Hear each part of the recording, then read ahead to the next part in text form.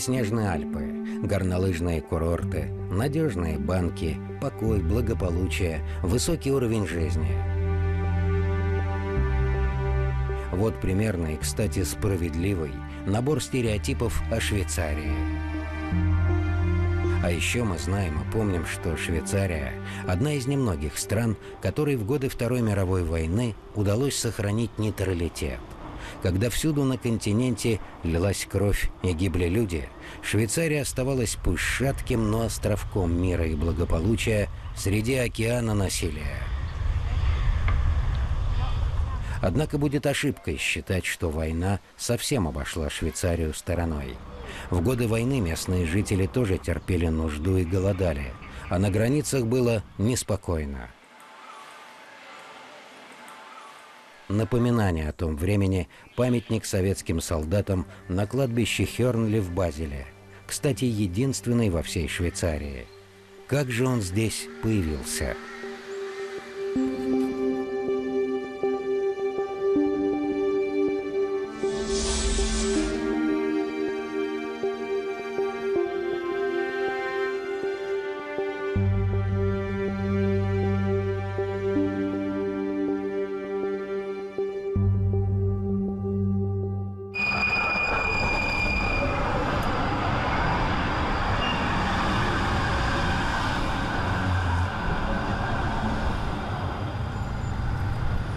что памятник советским солдатам находится именно в Базеле, неудивительно. Ведь это город особенный.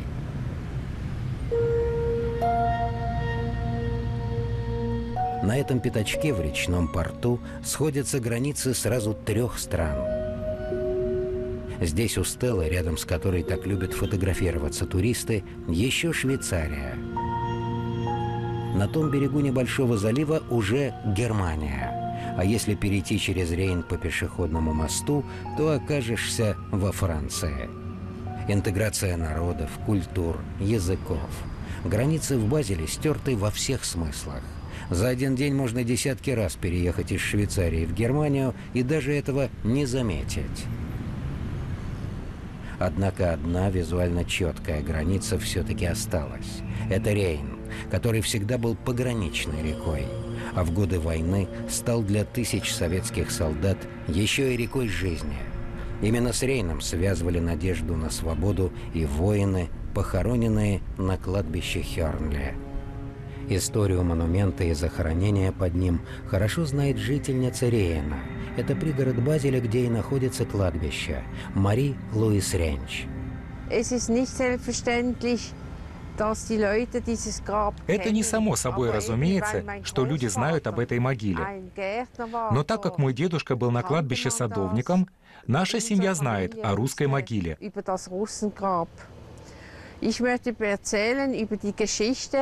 Я бы хотела рассказать вам ее историю. Там были четыре советских солдата. Они бежали из нацистского лагеря, из Южной Германии по направлению к Базелю через Рейн. И их застрелили.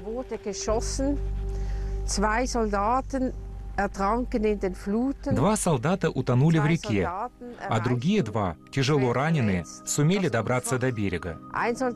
Один солдат смог только назвать имя своего товарища и свое имя, и потом они умерли. Это произошло в конце войны. Их похоронили в одной могиле на кладбище Хернли. Сначала местные жители похоронили воинов недалеко от центральных ворот кладбища. Уже в наши дни могилу перенесли на аллею славы. На ней появился гранитный монумент с именами еще 19 советских солдат, умерших на территории Швейцарии в годы войны. Инициатива принадлежала э, нашему посольству, которое при содействии и спонсорской помощи со стороны э, российских э, фирм и компаний организовало сооружение вот этой стелы. На мемориальной табличке в итоге всего 21 имя. Два солдата из тех четверых, у них имен нет – они утонули в реке, и неизвестно, кто они были. Всем этим солдатам, известным и неизвестным, не удалось дожить до победы. Но были и другие, тысячи других, чей побег оказался удачным. По некоторым оценкам, на август 1944 года на территории э, Швейцарии находилось 7462 э, советских гражданина, которые были интернированы. То есть Швейцария не выдавала э, лица, которые перебежали на ее территорию воюющим сторонам, и не возвращала их в тот период на родину. Швейцарские власти стали создавать для бежавших солдат специальные лагеря. К концу войны их было уже 75. В архиве Лозаннской синематеки нам удалось найти кинохронику, где зафиксирован быт советских интернированных в Швейцарии. Сейчас вы увидите редкие кадры. У кого есть какие вопросы, прошу. У меня есть вопрос. Как скоро мы сможем уехать на родину? Восточный военный лагерь для интернированных Валис. Каждое утро совет лагеря. Животрепещущий вопрос, когда мы поедем домой. Самое ближайшее время. После совета каждый занимается своим делом. Многие работают у крестьян на полях.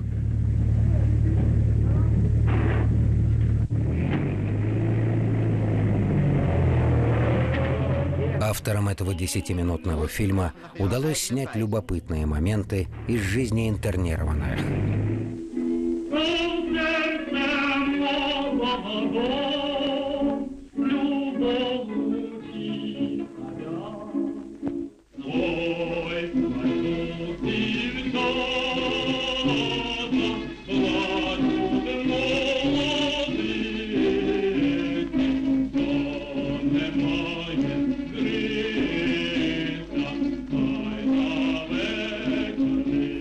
Швейцарской кинохроники резко отличаются от кадров из немецких концлагерей. Советские солдаты хорошо одеты. Видно, что они не голодают. В лагерном расписании есть время и для отдыха.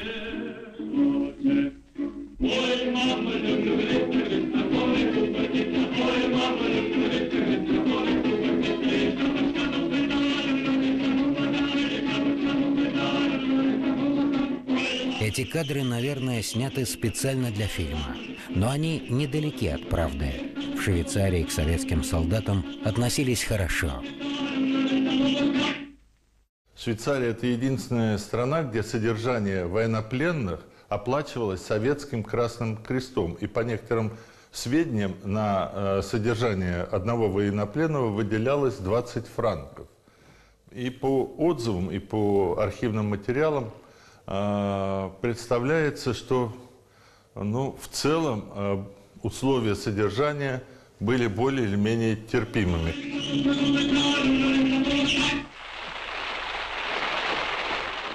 C'est quand même. Euh, on les a pas. Mais certains qui étaient plutôt ceux qui étaient communistes, ils étaient contents de rentrer. Журналист Оливье Грива много лет собирает материалы о пребывании иностранных солдат в его стране и написал книгу, которая так и называется «Советские интернированные в Швейцарии». Euh, Интернированных не содержали в закрытых камерах, и к ним не были представлены тюремщики. Они жили в лагерях и располагали определенной свободой. Например, они могли ходить в соседние деревни.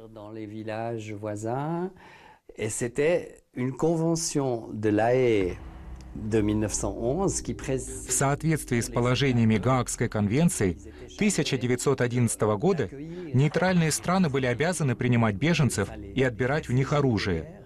Но эти люди не считались пленными. Жестокими нравами отличался только один лагерь – Вау Вильермоус в Люцерне. Лагерь был обнесен колючей проволокой. Сохранились жалобы солдат на плохие условия содержания. Этим лагерем управлял офицер Андре Беган, который еще с довоенных времен симпатизировал нацистам. После войны он был осужден за кражу денег у заключенных. Он задерживал все жалобные письма, которые они писали в посольство и консульство своих стран. Он был лишен воинского звания. Эта история — пятно на всей истории интернированных.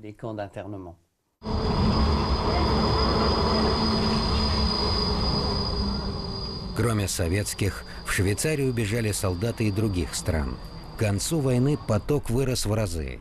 Швейцарские власти едва с ним справлялись. Один из новых лагерей возник в Лозанне. Он располагался в этом здании. Есть фотографии, где военнопленные сняты на его фоне.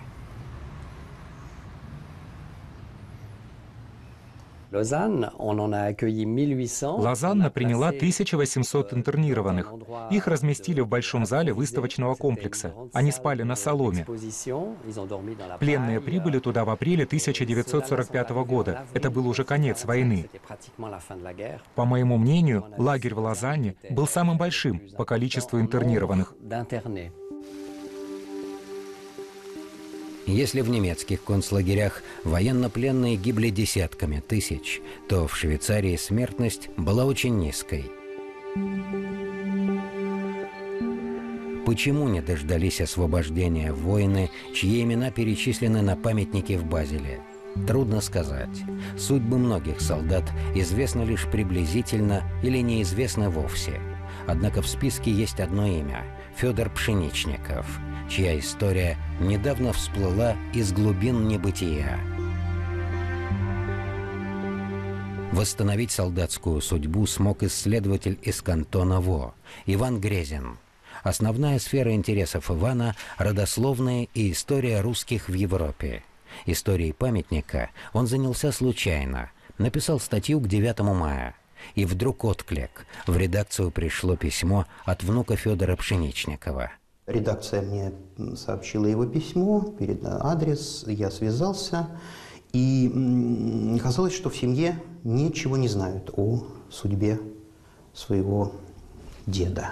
Его судьба была совершенно неизвестна, и мне очень повезло, что в Федеральном архиве Швейцарии, Берне, я наткнулся на целое дело, ему посвященное – до войны Федор жил в Москве, был парикмахером. На войну он ушел, когда ему было уже 38, что важно, добровольцем. И пропал. В Швейцарии находились тысячи советских интернированных, о которых крайне трудно найти информацию.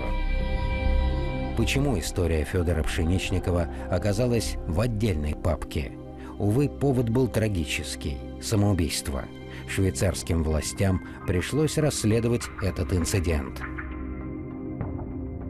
Трудно сказать, что именно, какие настроения были у самого человека. С его собственных дневников мы каких-то писем не знаем, но по письмам его друзей, которые тоже вот публиковались, видно было, что все проблемы вертелись вокруг одного. Возвращаться на родину или нет?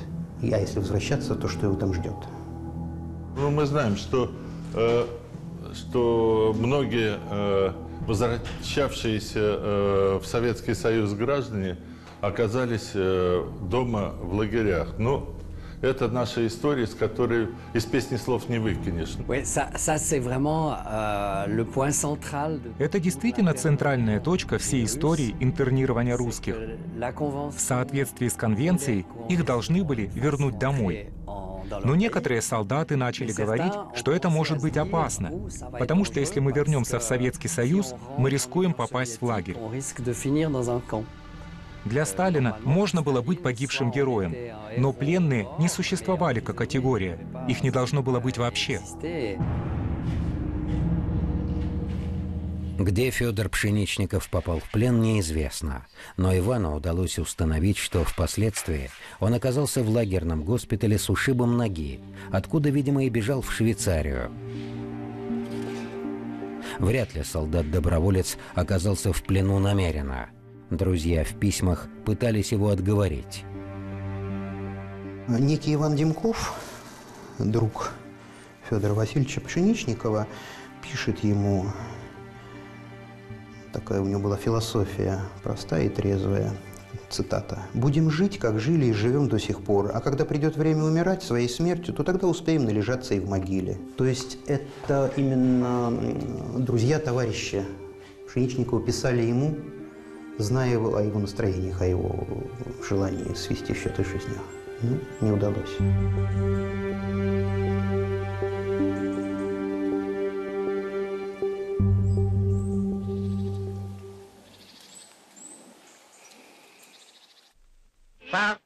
Контрольно-пропускной пункт Санкт-Маргретен на швейцарской границе. Настал радостный день возвращения домой. В последний раз швейцарская армия заботится о русских интернированных. Каждый герой на пути к родине получает паек, рассчитанный на пять дней. Рацион на один день он берет с собой, а остальная провизия поедет рядом в специальном вагоне. Как швейцарские власти после войны отправляли советских солдат на родину? На кадрах кинохроники запечатлен и этот процесс. Нашего народа, благодаря мощности нашего Великого Советского Союза, который вел мудрейших мудрейших вождей, мы победили, товарищи!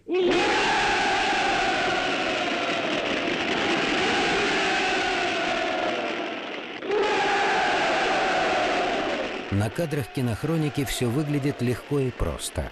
На самом деле отправка солдат проходила с трудностями. Дело в том, что долгие годы между Швейцарией и Советским Союзом не было дипломатических отношений. После войны возникла необходимость обменяться пленными. Чтобы договориться о деталях этого обмена и проследить за отправкой советских солдат домой, в Швейцарию из Советского Союза прибыла специальная делегация во главе с генерал-майором Александром Вихаревым. Но найти консенсус сразу не удалось. Точкой преткновения стали две фамилии. Первым был военный пилот по фамилии Кочетов, который прилетел на своем самолете сначала к американцам в Брно. Но американцы ему сказали, что русские их союзники и что надо лететь дальше.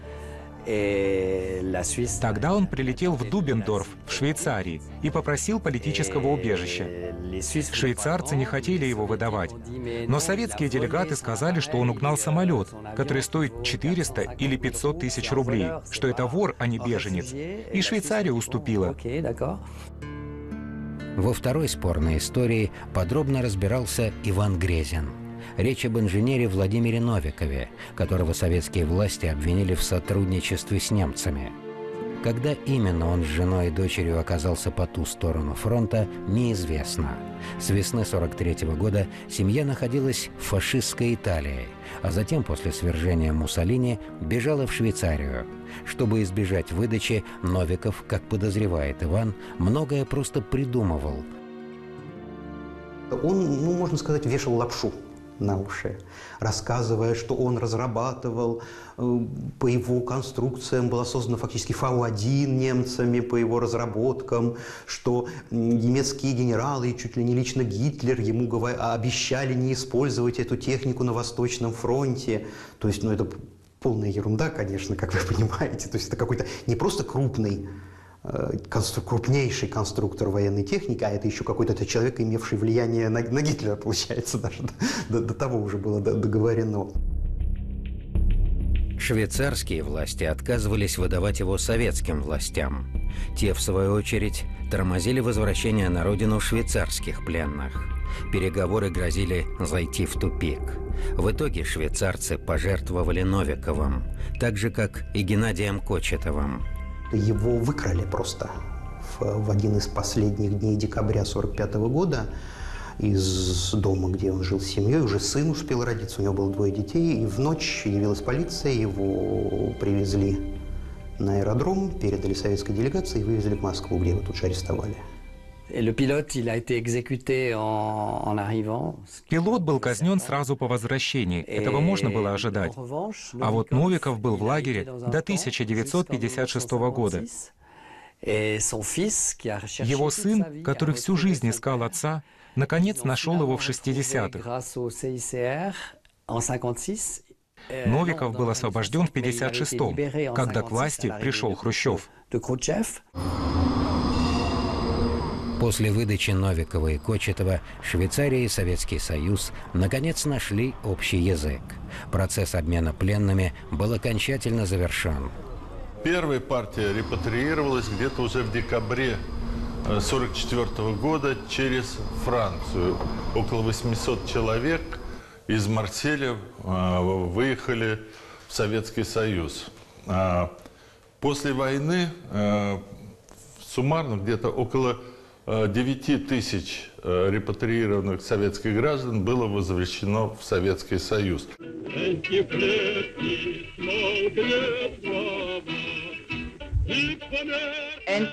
Наконец-то отъезд на родину. Полная надежды и радостное окончание трудной главы в истории швейцарского убежища.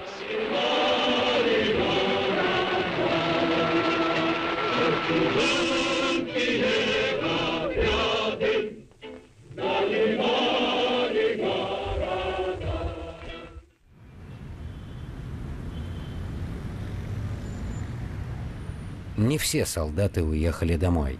Кто-то не захотел. Среди интернированных в Швейцарии были люди, не согласные с советской властью.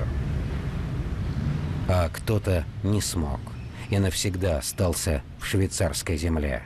Но эти без времени ушедшие солдаты не забыты.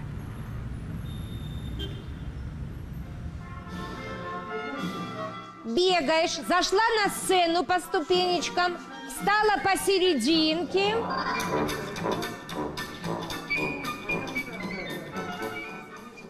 Музыка приглушается, говори свой текст. Русская речь для Базеля сегодня обычное дело – в этом интернациональном городе есть и большая русская диаспора.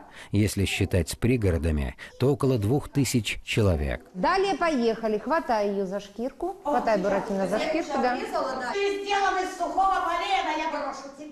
Свои корни русские швейцарцы не забывают.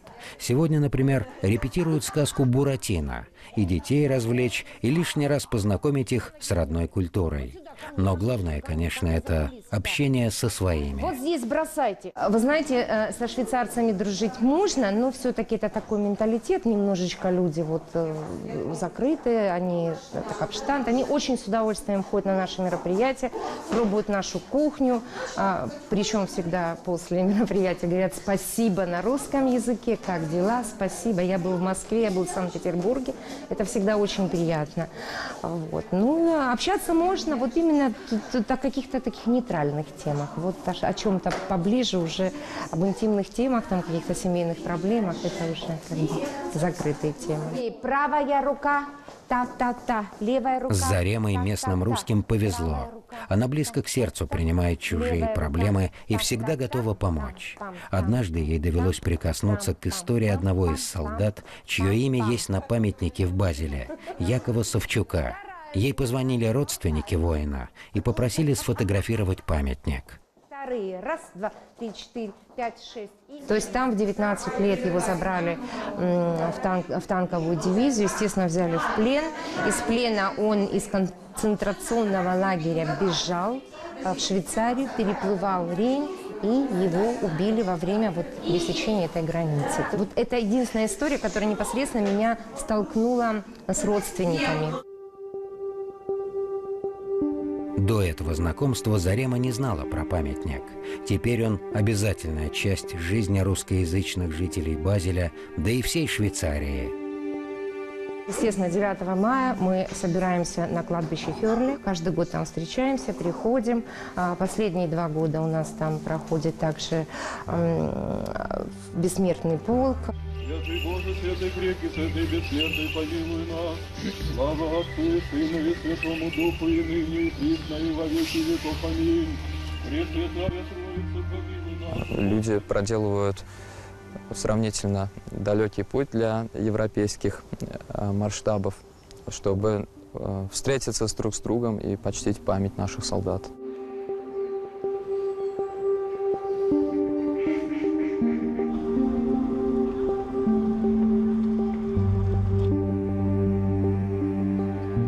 Путешествие по Швейцарии для обычного туриста – дорогое удовольствие. О Швейцарии знают лишь то, что это страна гор, ледников, надежных банков и точных, как часы, людей. Но этот ассоциативный ряд не полный. Когда-то, благодаря тому, что Швейцарии удалось сохранить нейтралитет, здесь нашли спасение и приют тысячи советских солдат. И об этом тоже нужно помнить.